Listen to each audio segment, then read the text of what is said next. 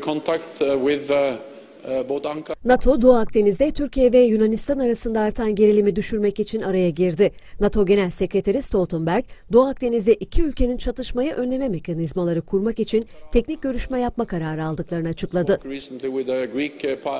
uh, uh, Mitsotakis. Stoltenberg, görüşmelerin askeri gerilimi düşürme, Doğu Akdeniz'de olay ya da kaza yaşanması riskini azaltma amacını taşıdığını belirtti.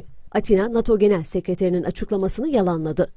Yunanistan Dışişleri Bakanlığı'nın açıklamasında gerilimin azaltılması ancak bütün Türk gemilerinin Yunan kıta sahanlığından derhal çekilmesiyle mümkün olur denildi. Äh. Ankara ise NATO'nun girişimine sıcak bakıyor. Dışişleri Bakanlığı'ndan yapılan açıklamada NATO'nun Doğu Akdeniz'de inisiyatif aldığı belirtildi. Türkiye'nin bu adımı desteklediği ifade edildi. Doğu Akdeniz'deki sorunun sebebi bu.